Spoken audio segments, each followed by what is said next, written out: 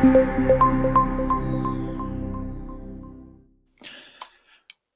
everyone. Welcome back to another Xamarin University guest lecture. My name is Rob Gibbons, and I'm very pleased to welcome you all to our fourth and last Xamarin University guest lecture in our September Back to School event. Today, Greg Shackles is going to take us on a deep dive through a range of techniques for testing our mobile apps. And Greg is a principal engineer at Olo, and he's a Xamarin MVP. He blogs, he runs the New York City Mobile.net users group, he speaks about Xamarin at a ton of conferences like our own Xamarin Evolve.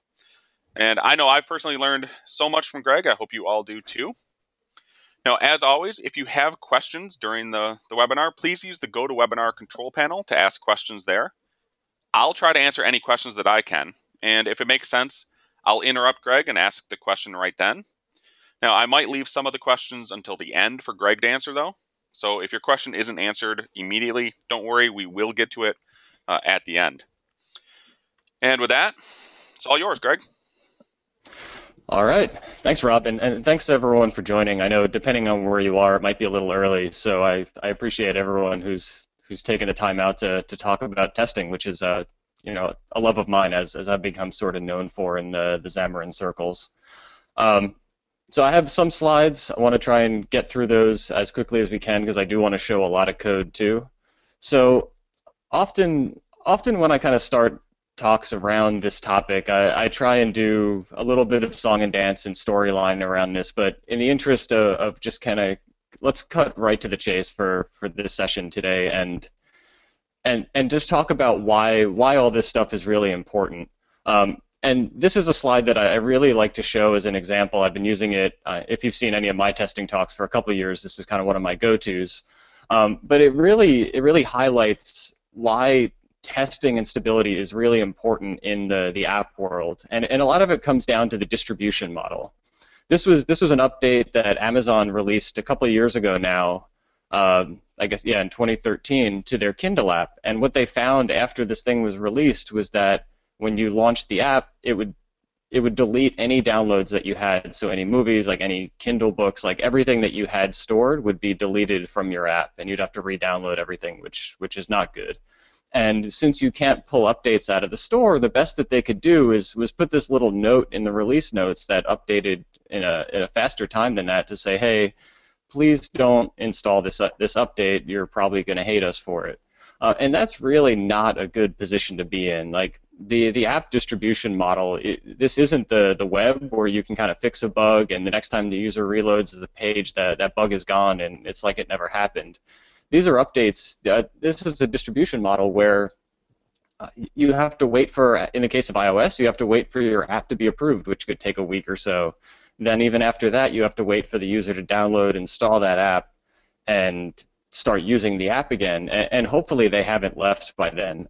Um, and the other downside to this is when you when you annoy users in the app world, they have a very public means of, of letting you know about it. And and trust me, users are far more likely to leave you a, a negative review than a positive review.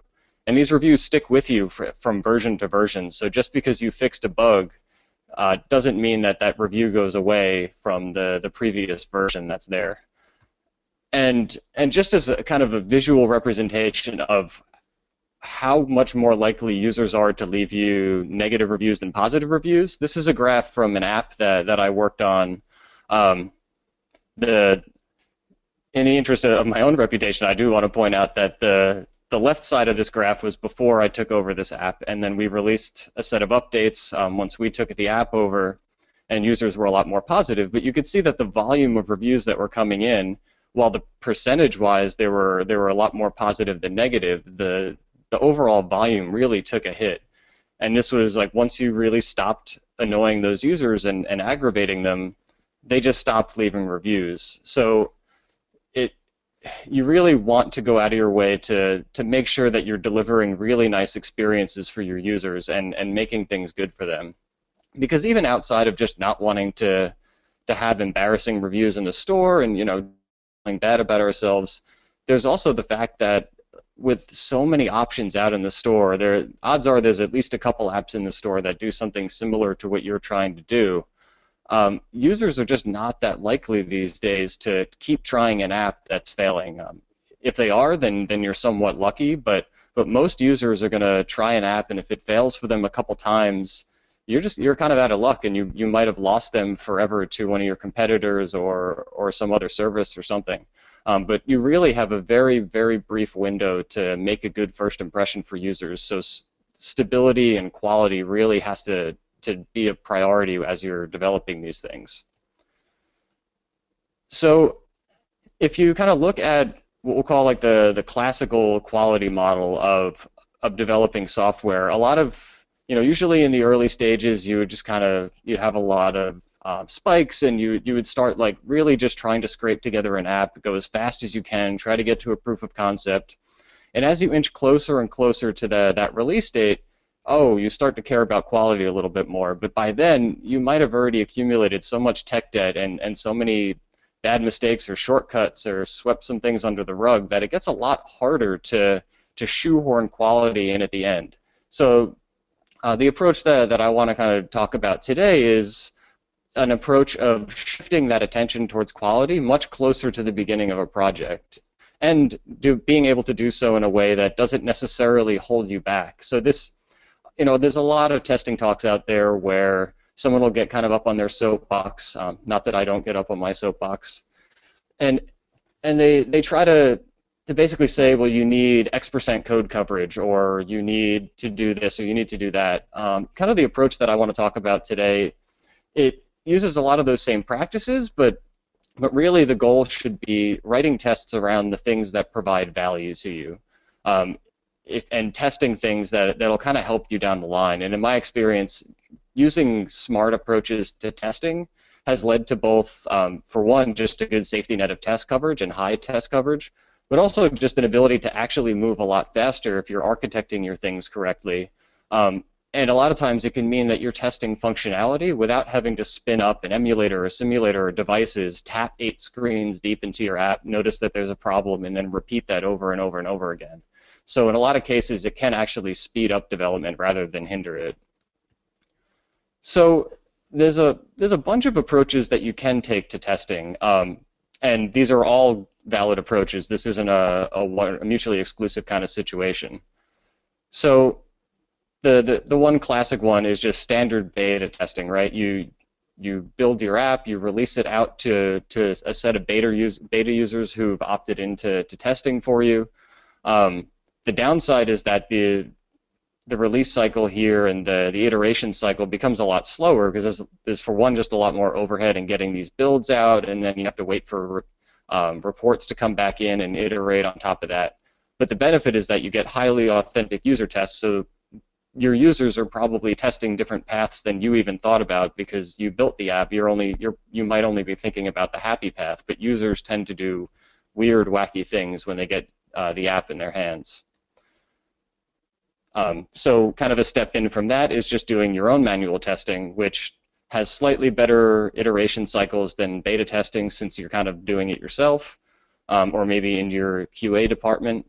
But the authenticity goes down a little bit because you you might not be thinking again about those those non-happy path situations quite as much. Then on the far opposite side of this graph, you have unit testing, where it's big big advantage is rapid iteration, right? Like these are tests that you can run on every build, every check-in, um, over and over locally, and we'll talk. I'll show later an example of just how easy it is to run tests over and over. Um, but unit, the idea behind unit tests is they test one small thing, they test it well, and they test it quickly. So you can run hundreds of these very, very quickly. Um, so the the iteration cycle becomes very, very fast. You can iterate very fast.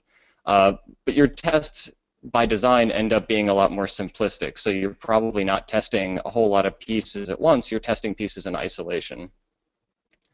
And then finally, you can automate some of the UI testing. So this ends up being pretty similar to manual testing in the complexity of what you're going to be testing, um, but at least you can test the interface itself, and you can make sure that, okay, when all these pieces are put together, the app is actually functioning from the perspective that the user would be seeing it uh, in a correct manner. And you can start at least smoke testing out the basic flows through your app and not have to spend your manual testing cycles on the same thing over and over and over. Because if you have manual testing cycles, you really want people to be able to spend their time being creative, trying to think outside of the box a little bit, trying to screw things up, and then rely on your, your standard automated testing to, to smoke out the basic scenarios and not, not waste human time there. And then I mentioned unit testing, and, and this is kind of a, a snapshot of um, the platform that I run at, at Olo, the company I work at, where we built out um, what we call App Core, which is really just the shared code base for, for our app platform that has things like view model services, uh, network access, database access, basically all of the, the screen logic, everything that's not the UI. We built this out very deliberately in a, in a test-driven way and in a testable way, I should is, is a more accurate way to put it. Um, and we were able to write all of take all of these tests that we wrote, which is in the, around 650 at this snapshot here a few days ago. And not only can we run those tests in, in our Team City build on every check-in and every branch, but we can take those exact same tests and run them on iOS and run them on Android because really those are the platforms that matter. It it wouldn't ultimately matter that much if this didn't run on a standard .NET platform. It really only matters that when you get it onto a device, onto iOS and Android, that these tests run. Um, so one of the other things that we'll I'll show an example of later in the code area is, is how you can really easily take your tests, run them on these platforms, and verify that yes, your code works as expected on the platforms that truly matter. And then taking that a bit further to talk about the UI testing piece, Xamarin has a library called xamarin.uitest that's written on top of uh, an underlying framework called Calabash that allows you to write your UI tests in C Sharp or F Sharp, and it lets you write them really, really easily and concisely, which is awesome. You can use, you can take these same exact tests, and if you write them correctly, uh, and again, we'll we'll talk about this in some code details later but if you write your tests carefully and correctly, you can run the exact same tests on iOS and Android without having to modify anything. Um, so this gets really, really powerful. You don't have to write all your UI tests twice necessarily. You can just write one set of tests, run the scenarios on both platforms, and be confident that your UIs are working across the board. Um, you can take these and run them in simulators. You can run them on devices. Really, anywhere that your app runs is is going to be fair game there. Um, and and taking that a step further too, the this Xamarin UI test is a, it's compatible with all apps that you might have. So even if you wrote your app in Objective C or Swift or Java, uh, it's going to be fully compatible with that. If you have a hybrid app, so you're you have some sort of web view kind of situation in your app, you can still take advantage of UI test. Uh, and of course, if you're using Xamarin, which is really a native app uh, under the hood, just the same as Objective C, Swift, or Java, uh, you can run the tests against your app as well. So really, this is just a generic testing framework that, that lets you write your UI tests very, very nicely. So, so we have the, the basic tests, um, testing approaches kind of outlined there, but you know, just to, to have some real talk here for a second, there's a lot of devices out there, and you don't really want to have to have all of these in-house all the time because well, if you have a budget that big, then then maybe maybe we should talk because that that's that sounds like a pretty nice situation to have.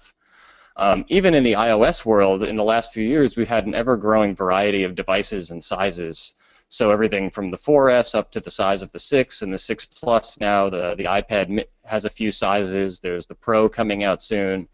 So it's not quite what Android is, but even on the iOS side, there's a really growing number of devices and sizes and things that you need to think about in order to make sure that your app scales and, and functions properly across all these devices. And then on top of that, you you have you sprinkle in your your varying versions of iOS and that kind of thing. On Android, it's a, it's a lot more colorful. Um, so this is is this is kind of like a really cool look and a really scary look all at once from a company called OpenSignal that published this report a couple months back. Um, but this is kind of a snapshot of what you know the, some of the most popular devices are and what the fragmentation is like across the Android ecosystem. And this is where it really starts to get into the area of you don't want to have to have all of these devices on hand and even if you did, you wouldn't want to have to test all of your apps and all of your scenarios across all of them because that's going to take forever. And it just gets really, really out of hand. Uh, to use another example of uh, an app, this is take a screenshot that I took from Google Play of an app that I manage. Um, and if I, I, took the screenshot a couple days ago, if I went back, that number of devices probably has already grown just because there's always more and more being added. So and I'm not even really targeting crazy old versions of Android with this one, so it's really just um, Jelly Bean and up, so Android API level 14 and up. And even that Google Play advertises as being over 7,500 supported devices out there. Or sorry, ice cream sandwich and up. Um, so that's a lot of devices, and granted, some of those are going to have very small market share. If you look back at the that last um, that last overview, for example, but that's still a lot of devices that, that people can have and a lot of different versions of Android. And um, a lot of times the manufacturers make their own little updates to, to Android. So that's a huge, huge variety of things out there that you need to be thinking about when it comes to Android development. And that's where Xamarin's Test Cloud becomes a really, really nice tool to take advantage of, to, to offload some of that device management and, and thinking uh, off to their cloud. So basically what you can do is you can take those exact same UI tests that we talked about a few slides ago using Xamarin UI test, and you could just point them at Test Cloud and say, I want to run those tests on these 30 devices, these 50 devices. They have thousands of devices in their device lab, and you can just take these tests and target them. Um, and we'll, I'll show a little more in-depth example of that, that later, but you could see that you could really quickly see what your app looks like on these different devices. You could see whether you have a, a weird crash or weird layout issue on Samsung versus Sony. Uh, it really, really lets you take advantage of um, just seeing what your app does on all these platforms. Like I know at work we were we were doing a big redesign lately of something, and Test Cloud really helped us uh, smoke out some some weird layout issues that we probably wouldn't have found until it hit the app stores otherwise. So it's it's a great tool to take advantage of. And I know for any university students, you you all have some free hours that Xamarin gives you. So I, if you haven't already, I highly encourage going and checking it out and taking taking advantage, playing around, and, and seeing what's in there.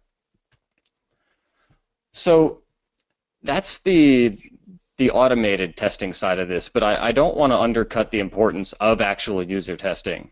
Um, because when it really comes down to it, users aren't going to care that your unit tests pass. Like you can't respond to a bad review in the App Store and say, well, my build was green, my tests were green, so you're wrong. Like really, it's it's the user's experience that ultimately matters here. So user testing is super super important. And there's a few, there's a bunch of ways out there to do it. There's a bunch of companies that are introducing alternatives in their own ways. So I, I just want to, this isn't meant to be a comprehensive list, but I want to mention a few few options that I've used. Um, so one is TestFlight, who Apple bought a couple years back and really internalized. So built into iTunes Connect is this whole TestFlight subsystem that allows you to, to create internal builds and external builds um, and send your send builds of your app out to users without having to do the necessarily do the old dance of adding their device to your developer account and creating new provisioning profiles and, and that whole nightmare. Um, so they give you a pretty nice system now for, for doing this distribution without ha- and being able to skip all of those steps. Um, it's an Apple tool, so it's iOS only, but it's it's a very good option if you're looking to test your and distribute your iOS apps to beta testers. Um, similarly, on the, the Google Play side, they have an, obviously an Android-only version.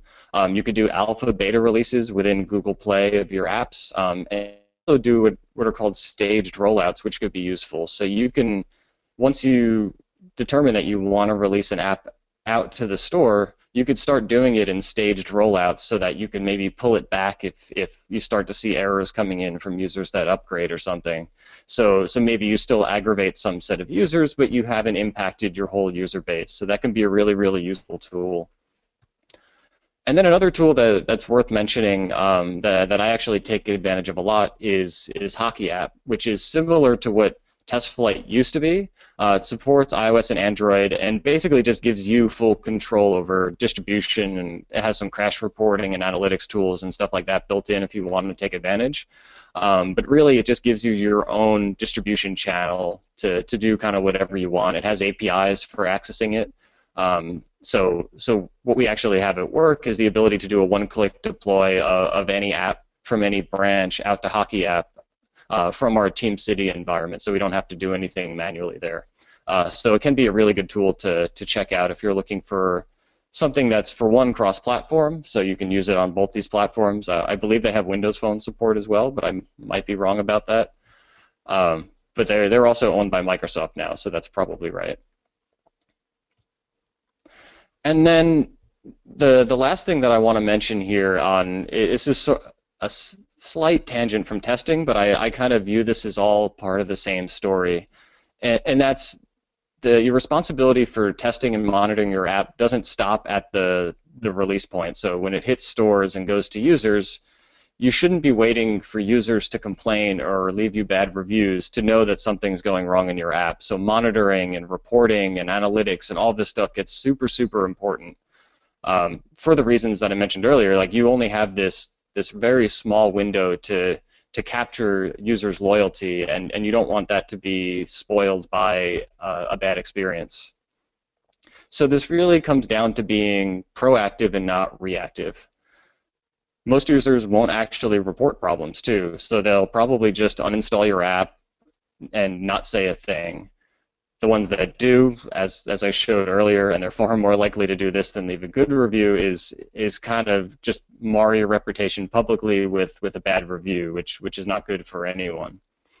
What you really want is you want to be notified as something happens and to whom it happens, because context is super super important.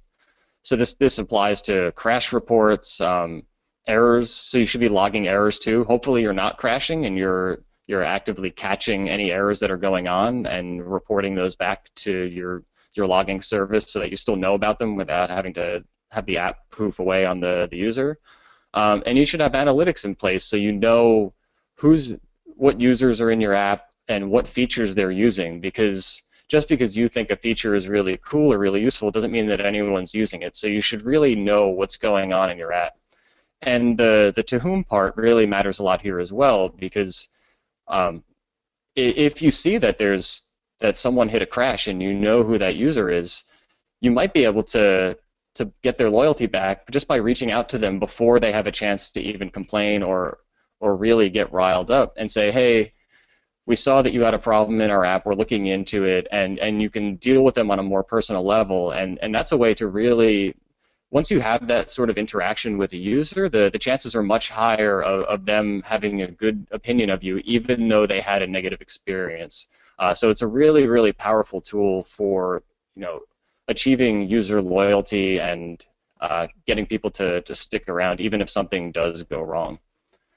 And there's a lot of tools out there for for monitoring. Um, I'm, I don't want to dig into to all this stuff, but I did want to call out a few that, that I use that um, I'm big fans of. Obviously, Xamarin has their their own insights platform uh, that does crash reporting, error reporting, analytics. It's really really nice. Uh, Raygun is one that I use a lot on not just mobile apps, but desktop and uh, desktop apps, web apps, Windows services, basically everything. Uh, so it's another really nice error reporting tool. Uh, Google Analytics is, is a great, great and free tool for doing uh, in-app analytics. Um, you should be you can take advantage if you're using tools like HipChat or Slack. You could have basically they all have a, everything in the world now has APIs, so you could start tying all of your tools together and making it so that when something happens that you need to know about, the your tools push these things out to you instead of you having to go to a thousand different dashboards and kind of ask disparate services what's going on. You can have everything sort of come to you through HipChat or, or Slack or a, or a, a pager on-call service like PagerDuty that we use at Olo, which is really really great. Um, but really, the takeaway here is that you should have all of your tools really working for you and, and pushing the information to you that you need. And that's all the, the slides that I wanted to get through. So let's let's take a look at some code and see what this is all like in practice. So what I'm going to do here is I have um, I have a little app that's running, and I'll show what the app looks like first. Um, it's a tip calculator app, which is obviously a very, very needed app in the world right now. There's just not enough tip calculators out there. Um, so I think this is getting really, really close to, to being able to submit to the store and uh, make me millions of dollars. So it's written in Xamarin Forms, so it's you know one one small code base to to conquer all the the platforms here. So I can enter a tip. You can see that um, it's using MVVM and I notify property change, which definitely means it's on the verge of making millions. Um, and I can come in here, I can enter a tip percentage, and actually it seems like there's a, a pretty embarrassing bug in here. Um, you'd almost think that I set this up for a testing talk. Uh, but let's see, let's see that what happens on Android if I do the same thing here.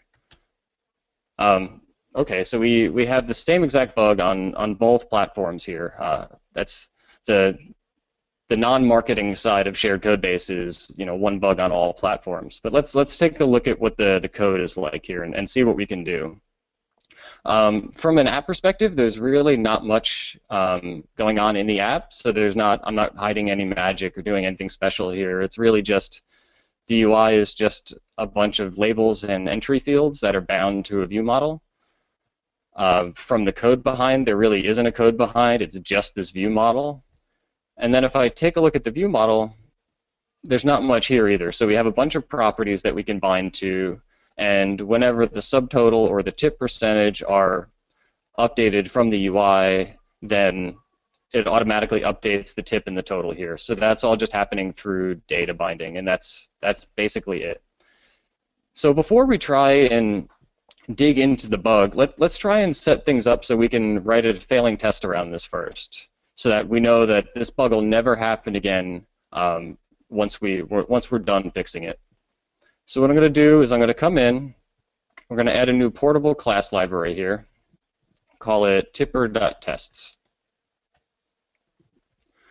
And then what I'm going to do is, first I'm going to add a reference to Tipper. So this is the portable class library that has all the Xamarin Form stuff. It has the view model.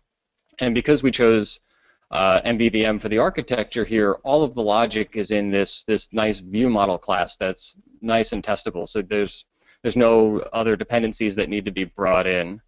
Um, and we can set things up as a, a split view here so we can look at kind of both sides at once. And what I'm going to do is call this tip view model tests. And let's go and add a test for this. So I'm going to say, and actually before I do that, we need to add a, a testing framework. And the framework that I want to show off today is called XUnit. So XUnit is a, a nice modern testing framework that has a really, really great cross-platform story. So what I'm going to do is I'm going to add this XUnit to the project. And I'm also going to add one other package called XUnit console runner. So there's a bunch of runners that you can you can install for XUnit, and you can so if you're running it in Visual Studio or running it from the console, you you have a bunch of options at your disposal there. Um, and, I'll, and I'll show what, what that kind of buys you in, in a few minutes. So first, let's add a test for this. So I'm going to say, we'll give it a, a pretty bad test name, but that's how demos go. In, in XUnit, you decorate your, your tests with a, a fact attribute. And now we can write our tests. I'm going to create a view model.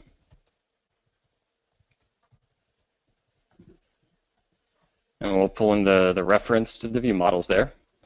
And we'll just set the properties the same way that the UI is going to set them through data binding. So I could set a subtotal to 100.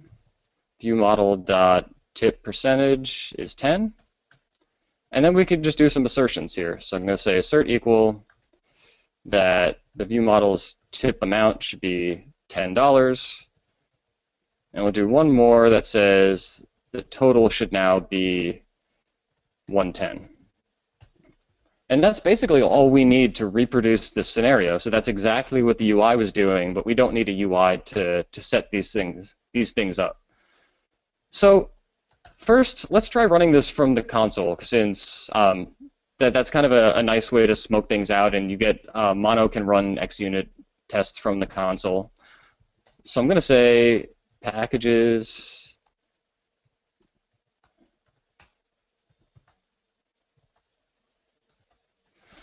I think it's console.exe, and then we're going to say tipper.test bin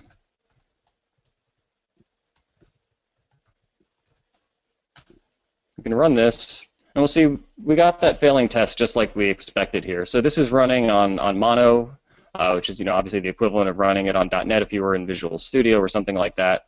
But we have our failing test. But let's before we try and fix that, let's let's take this a little further and make this more interesting. So what I'm going to do is create an iOS app. So we can just create a new app. I'm going to call it tipper.tests iOS.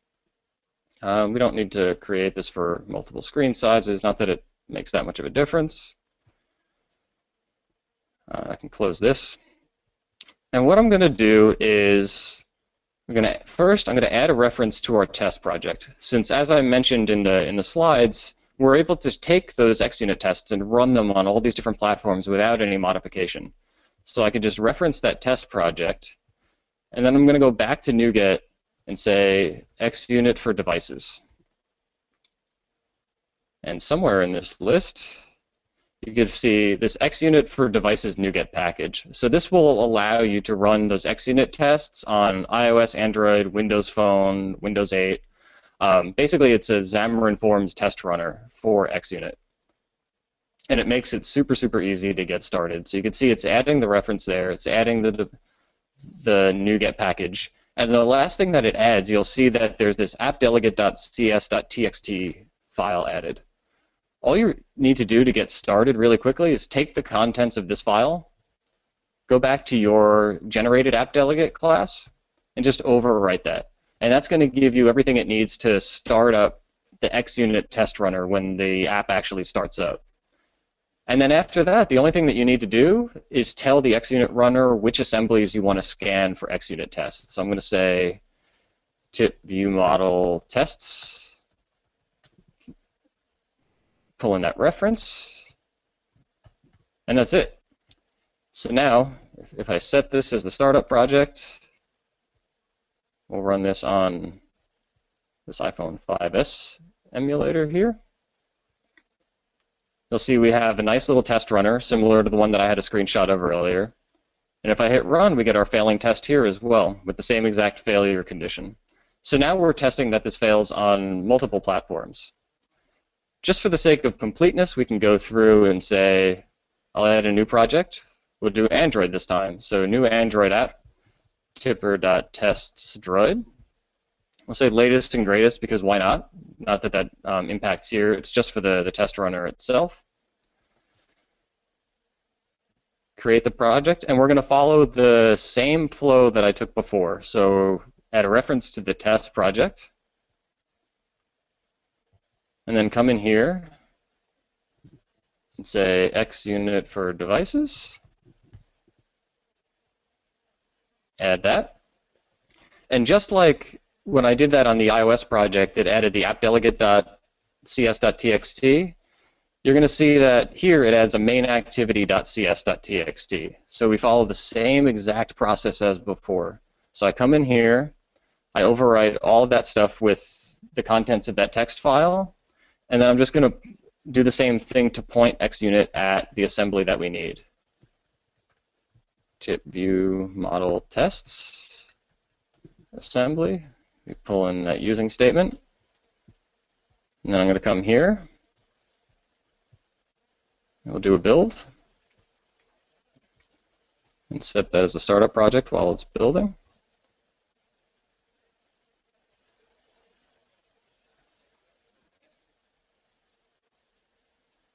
And then once that's done building, we can run that in my emulator that I'm running here. And we'll be able to see that that test is actually failing on Android now as well.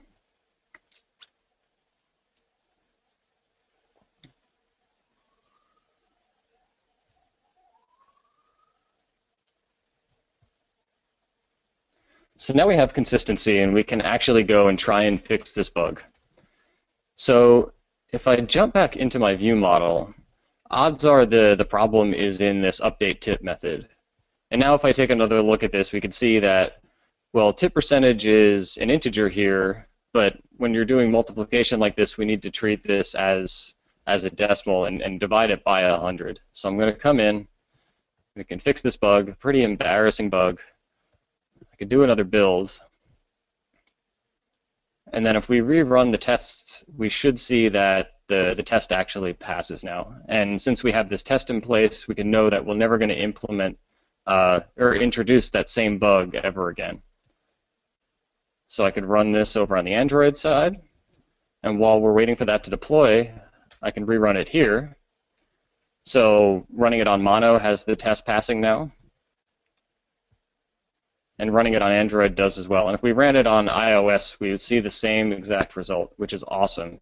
So we have the same test running everywhere. We know that everything is good to go, and now I can ship this to the store and, and make a whole bunch of money. So that's a basic look at the, the unit testing side of things. Um, I have a, a, series of blog posts I've been doing on my blog for, for ways to lower unit testing friction, and I and anything you can do to lower the friction to adding tests is is highly recommended because it's going to make you that much more likely to, to add new tests and maintain.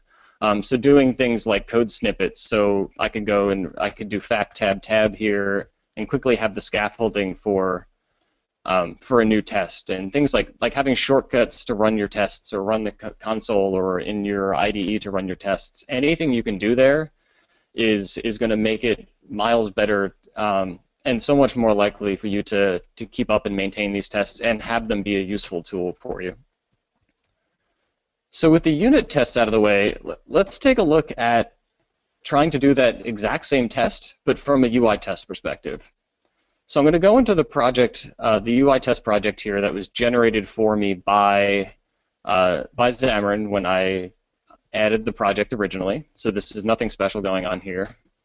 And what I'm going to do is now we're in NUnit because um, currently Test Cloud only supports uh, NUnit. Um, there's a user voice entry for XUnit support. So if, if any of you that are listening want to be my best friend, go vote for that. Uh, go vote for that user voice and let's try to get XUnit support because it's awesome. But it's not so bad to use NUnit either. So what I'm going to do is I'm going to add a test here and say calculates tip correctly again. And you can see here that there's this app object that implements this IApp interface.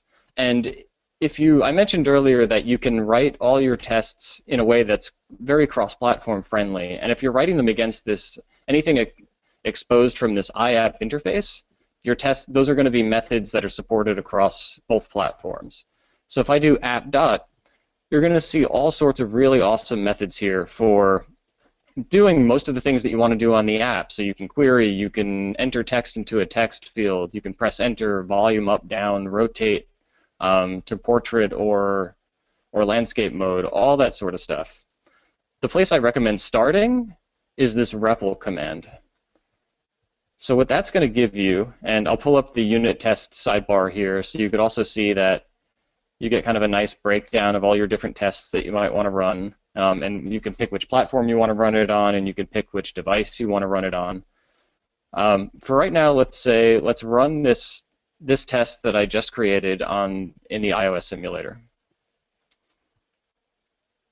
So what that's going to do is for each run on an iOS simulator, it's going to shut down whatever's running and give you a, a fresh simulator instance to run.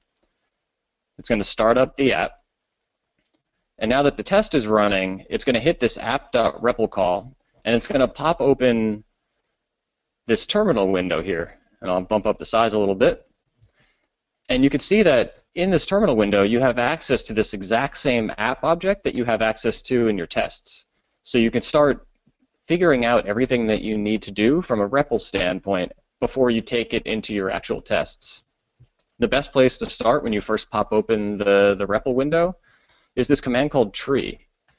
So if you type tree, you'll see that you get a nice representation of the whole visual tree here, and you can see what things might be available to target different elements in the UI. So in this case, I could say something like app.enterText. We go up here, we see we're looking for the subtotal text field, so I'm going to take that text. Let's enter 100 into that.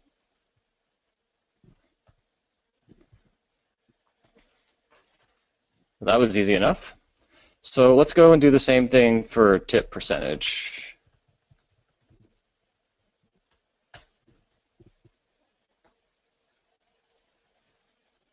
So now we've recreated the same scenario that we were doing in our view model unit tests.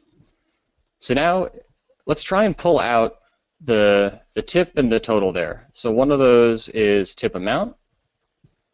You can see we can do query, and query is going to give us uh, basically just an array of any element that matches the query that we gave it. In this case, it's really just this one. And we can do the same for total, just to make sure that we can pull that out of the UI. And we can. We can see that it has the text that we were expecting here. So now, now we want to go add that to our tests. So I'm going to come back and I'm going to say copy. And it, that actually copies any successful command that you had into your clipboard. So if I exit this, come back into my IDE and say, and paste it, you can see I have basically the whole test written for me here. So what I'm going to do is I'm going to say, I'm going to pull the text out of this. As I mentioned before, the, the query the query method returns a, a, list of results. We know that we're expecting one, so I could pull the text out of that. And then we could do the same for total.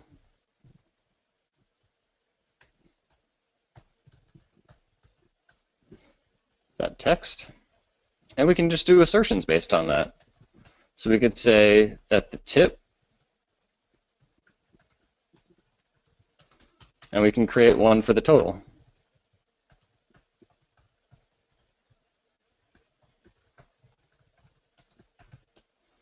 And now, if I go and I run this test again, it shouldn't pop the REPL because we took away that app.REPL call, but now it's actually going to run those assertions and make sure that the UI is properly reflecting the, the, expect, the expected results of what we were trying to do there. If I pull this up,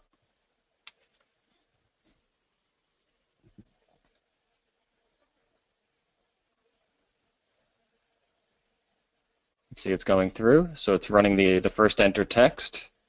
Now it's running the second one. And if you watch right here, you'll see that that just turned into a, green checkbox. So the test passed, the assertions all passed. And I can actually just go and run this on Android now, and we can see that it, it'll run and work there as well. So it's going to shut down the app, clear out all of your data, run the app in a fresh instance, and now we have this passing on Android as well. So one other pattern that I want to show off here is, like, this is great, and you can imagine writing this similar test over and over in different scenarios or having to repeat these selectors multiple times. So one pattern that can be really nice is the, the screen object pattern. So basically what that means is you'll define an object that represents a single screen in your app, and that is where you can contain any logic that needs to know how to select things out of the UI. And it's super, super easy to do and, and makes your tests a lot more readable and maintainable. So what I'm going to do is I'm going to say we're going to pass in an instance of an IApp. We're going to pass in an IApp into, into this class. So IApp And then we can just define nice methods, and they could be strongly typed methods for interacting with the screen. So if I said we'll create a, a public void method called enter subtotal, we can give it a, it can take in a decimal, so there's no magic strings or anything going on here. And then we can just take what we had up here and move it into this method. So the it's this class that's taking care of anything that needs to know about interacting with the UI and exposing a really nice API, API for it. So we could do the same for tip percent, and this will take in an integer. Just copy this method down.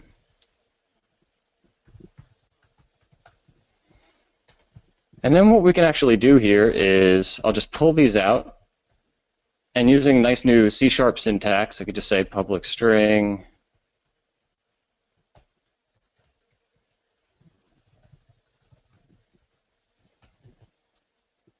So now all we have to do for this test is I'm going to say equals new screen, give it the app, screen dot set the subtotal to 100,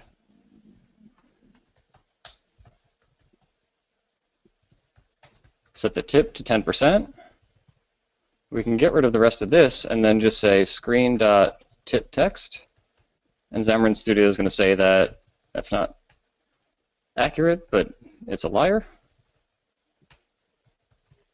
So now I could build that, and if we run this test again, it should still pass. And now we can we can easily write new tests um, that all take advantage of these different elements on the screen without having to spread knowledge of how to query the UI into all different parts of our tests and our app. So that, and it, on top of that, just an added bonus is that your test ends up reading a whole lot better. And you could turn this into something like a fluent interface or whatever kind of works for the test that you're writing. Um, but it's a lot easier to reason about the scenario that you're testing when you have this nice strongly typed API for your screens and you could start using these screen objects in different tests and different classes and, and whatever um, ends up making sense. So now we have a nice shared test code base. The, the last step here is that we want to take these and we want to run them up in test cloud. So we want to run them across a whole host of devices that we don't have to have locally.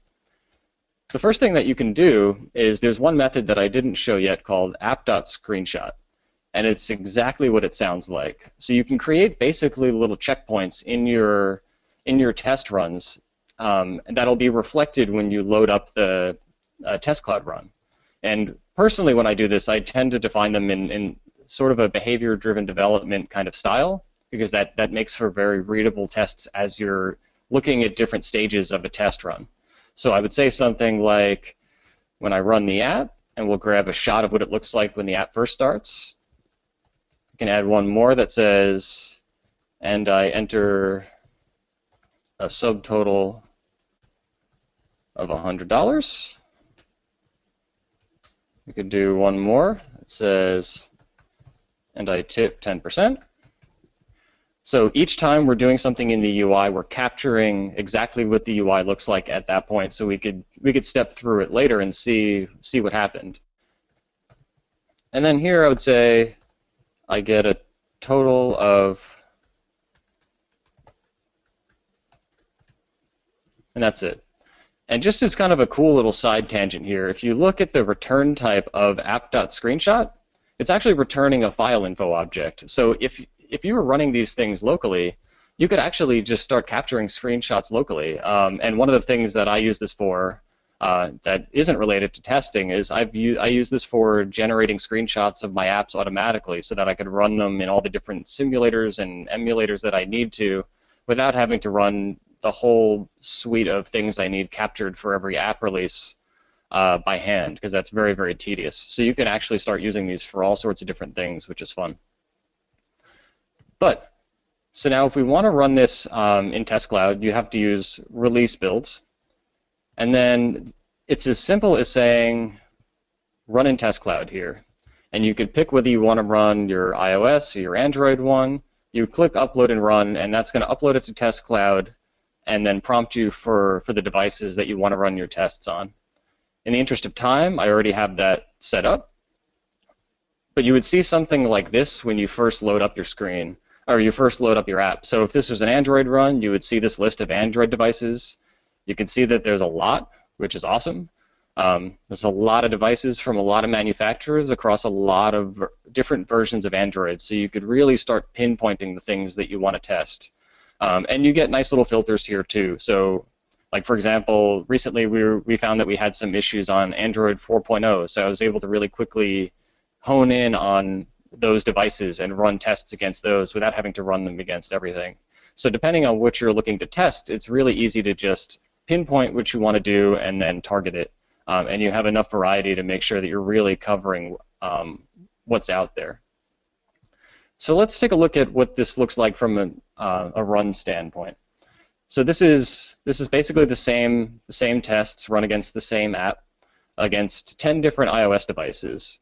On the overview, you can see that you'll get a list of the total device time that you spent running these tests, the peak memory usage, app size, You'll see um, how many failures you had by category or form factor, manufacturer, and that sort of thing.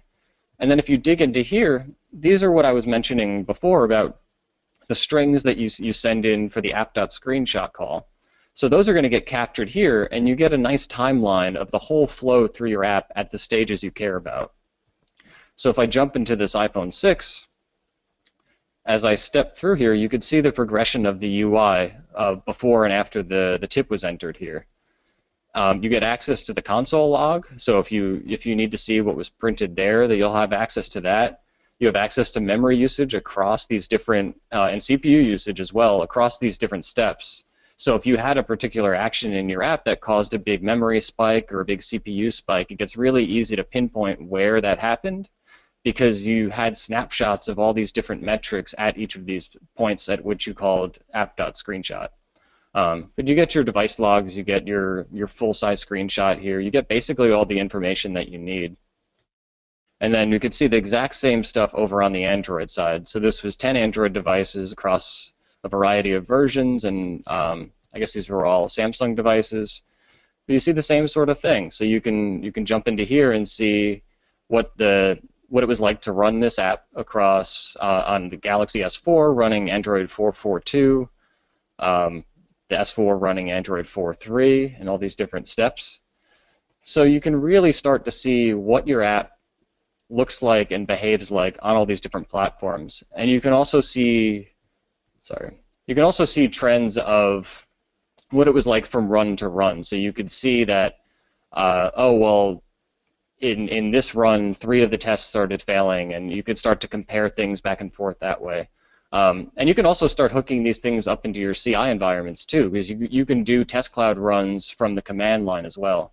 So you can have, say, if you're using TeamCity, you can have TeamCity kick off a test test cloud build um, and then it can actually have those reported back as NUnit tests so that your TeamCity build even displays all the results of all these different devices and test scenarios for you. So you have them all in your one unified place, which is really powerful as well.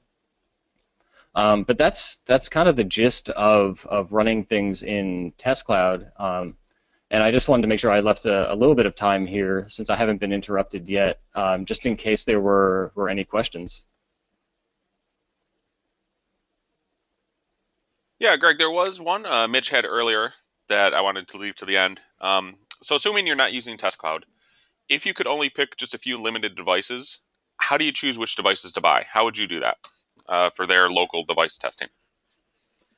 Um, I would really just target that based on market share, um, and market share with the caveat of like where your users are, what kind of users you have. Um, a really, I mentioned earlier the importance of things like analytics. So if you had analytics, something like Google or Xamarin Insights or, or, what have you in your app that could tell you what devices your users have, that's the best way to go about figuring out what you should be testing. So if you see that, you know, 60% of your your user base is on, say, the Galaxy S5 or something, then you should probably, regardless of whether you have access to Test Cloud, you should probably have an S5 on hand just to make sure that those users are happy. Um, but but the the best recommendation I could give is just to to do it based on real metrics, either of what your users are doing, or if you don't have that data yet, then look at some market share st- statistics of the locations of where your users are, and then make some decisions based on that. On top of that, it's also the Nexus devices are also very, very well. For one, they they tend to be pretty popular, which is nice, um, but they're also really great to have on hand because they are um, vanilla Android versions too, so they, they can be very good uh, starting points for, for local testing. And a new one will be announced in about 10 minutes, probably. Um, yeah. so another thing, though, um, even if you can't buy all the devices, this is where something like TestFlight or HockeyApp would come in as well. Try to recruit people who own those devices to do your beta testing for you. So you don't have to own every single one but try to find people who do have it and have them at least do some testing on it uh, as well. Precisely. Yeah, great point. Uh, Brady said, is the source code for this example available somewhere to try out locally? Uh, so if you have source code for us, Greg, we can include a link on the, the Xamarin University website when we put up the materials and the, the video. So that would be a, a good place to look for that as well. So I'll get that. Yeah, I'll absolutely. I'll I'll definitely provide all the materials that I had here. Okay, yeah, I'll get that from you. And so, uh, as always, check out the university website. The video will probably be up a little bit later today as we go through there. Does anybody else have any other questions? All right, so if you do have questions, now's the time to get them in before we uh, finish up. But I just want to say uh, thank you so much, Greg. As always, as a fantastic presentation. I always learn uh, so much when I uh, hear you talk or read your read your stuff. So I definitely suggest everyone follow Greg's blog. You'll learn a ton of things. So remember, I appreciate it. It's, it's an honor to honor to come on. Uh, it was awesome. Thanks for everyone who tuned in. Um, you know, if you have questions that come up later, I just wanted to make sure I pulled up my contact information again. I'm, I'm always available to, to answer questions either through email or Twitter or, or what have you. So if you have any questions and, and I can be of help, definitely reach out. Yeah, and uh, John does have a question. How would you test for mobile phone calls coming in while you're on a screen, so interruptions? Ah, figures the, the last one is a tough one. um, I actually I don't have I don't know of any way to automate that that well. I mean, I guess you could. I mean, you could use something like Twilio, I guess, to automate a call to a phone that you're running a test on. That would probably get kind of tough to orchestrate.